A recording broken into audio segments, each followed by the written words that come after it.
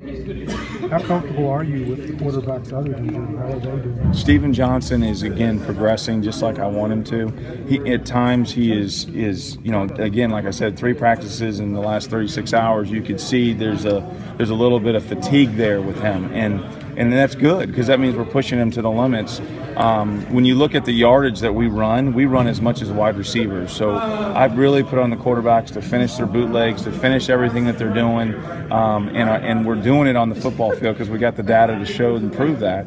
And again, that's what that's what we need to do is is when you're tired, when things are at its worst, be able to go succeed, and that's what it's like in the SEC. So Stephen's doing a very good job. Uh, Gunnar uh, Hoak has really stepped up as a true freshman and uh, has really done a fantastic job this camp. He really has. He's he's learning the offense better and better and better, and that's why coming in in January is so key for those kids that are that, that, that really want to have an opportunity to play early. I mean, he he's now into it eight months instead of only being in it three months. So it's really helped him to be able to learn, and uh, he's done a great job throwing on target. I'm really proud of him, and he's continuing to progress.